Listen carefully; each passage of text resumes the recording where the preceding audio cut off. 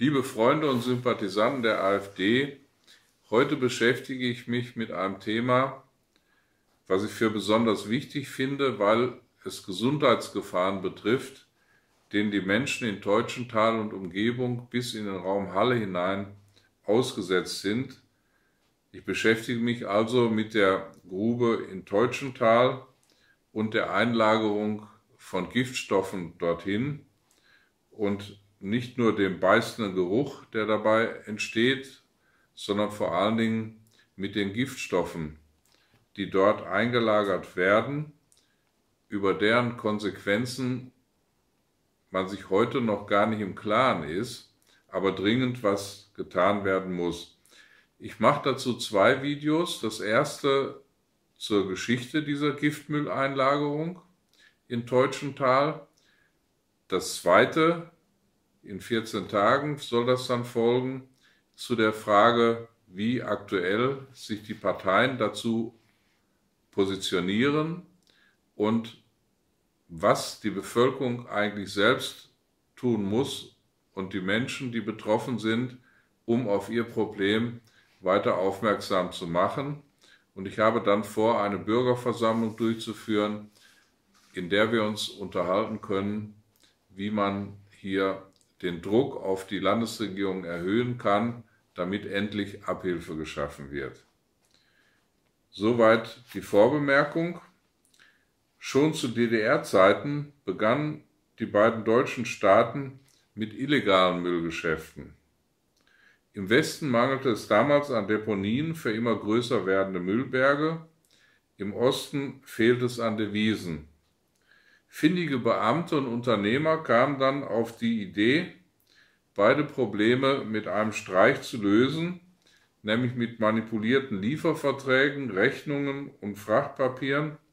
Ausgestattet wurden viele hundert Laster voll Müllflugasche, Salz und Schlacken von der Hanseatischen Baustoff Kontor GmbH aus Hamburg in die Deponie Schönberg verbracht.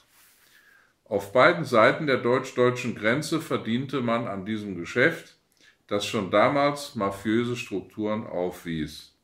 Dies war Ende der 70er Jahre. Mit der Wende wurde dieses Geschäftsmodell nicht nur nicht beseitigt, sondern in völlig neue Größenordnungen ausgeweitet. Plötzlich standen mehrere stillgelegte Kalibergwerke zur Verfügung, die nicht nur Raum boten, Müll einzulagern, sondern überdies auch noch in Teilen einsturzgefährdet waren. Um diese Gefahr abzuwenden, hätte alleine für die Grube Teutschenthal eine Milliarde Mark aufgewendet werden müssen, um diese nach dem Stand der Technik zu verfüllen. Da für weitere Gruben ähnlich hohe Kosten zu erwarten waren, war dies dem Bund viel zu teuer. Und das ist der grundlegende Ausgangspunkt.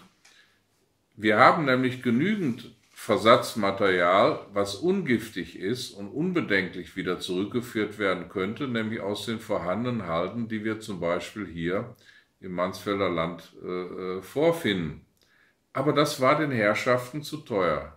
Stattdessen hatten sie eine super Geschäftsidee und die bestand dann darin, dass auf Betreiben der Treuhandanstalt am 26. November 1990 unter Federführung von Klaus Töpfer von der CDU, damals Bundesminister für Umwelt, Naturschutz und nukleare Sicherheit, eine Besprechung zur Nutzung untertägiger Hohlräume in Thüringen und Sachsen-Anhalt durchgeführt wurde also Nutzung untertägiger Hohlräume in Thüringen und Sachsen-Anhalt.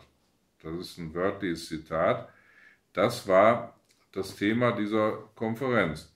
Dort einigte man sich darauf, die Gruben nicht kostenintensiv mit Bauschutz zu verfüllen oder mit den Grubenhallen, sondern den zuständigen Unternehmen Genehmigungen auszustellen, dort Giftmüll einlagern zu dürfen.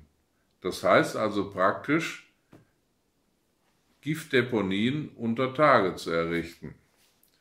Je giftiger dieser Müll, desto größer würde der Gewinn sein und je weniger Kosten hätte der Staat, die Verfüllung zu finanzieren, denn diese Firmen würden die Nutzung dieser Hohlräume bekommen und diese Verfüllung übernehmen. Die Gesundheit war für die damals Befassten, genauso wie es leider heute der Fall ist, erst zweitrangig. Durch diese Genehmigungen wurden die Betreiberfirmen der Gruben für Investoren aus dem Westen natürlich umgehend interessant. Von der Treuhandtochter Kalimak ging die Grube Teutschenthal am 1. Januar 1991 an die Firma Halsafe, also äh, ironischerweise oder sarkastischerweise äh, sicheres Halle, Halsafe, die bis November 1991 15.000 Tonnen mit Schwermetallen und chlorierten Kohlenwasserstoffen kontaminierte. Erde aus einem Aluminiumwerk aus dem Stuttgarter Raum in die Grube kippte. Und dies zu einem Zehntel des Preises, den man im Westen hätte zahlen müssen. Nach Protesten wurde dies eingestellt und als Panne bezeichnet. Genehmigt war allerdings nur die Verwahrung, ich zitiere, emissionsneutraler Reststoffe emissionsneutrale Reststoffe. Also Sachen, die keine Gesundheitsgefahren äh, beinhalten.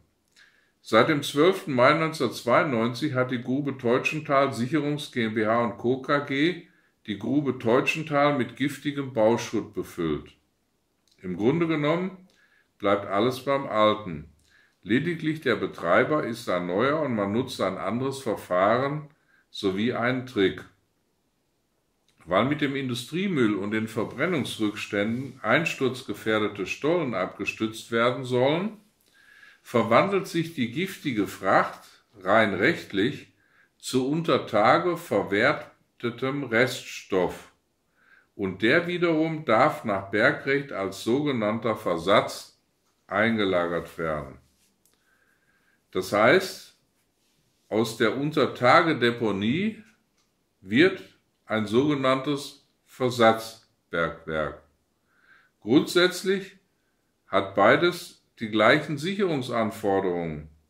In beiden Fällen müsste die Langzeitsicherheit über tausende von Jahren garantiert werden. Doch weil es bei den Versatzbergwerken ja eigentlich um die Sicherheit des Berges geht, dauern die Genehmigungsverfahren nur einen Bruchteil der Zeit und Nachbarn als Anwohner stören weitaus weniger, da der, Bergver da der Bergversatz ja eigentlich ihrem Schutz dienen soll. Was nach diesen Überlegungen passiert ist, liest sich wie ein Krimi. Im Juli 2002 und auch im Jahr 2003 kam es mehrfach zu untertägigen Brennen. Es traten auch giftige Rauchgase aus.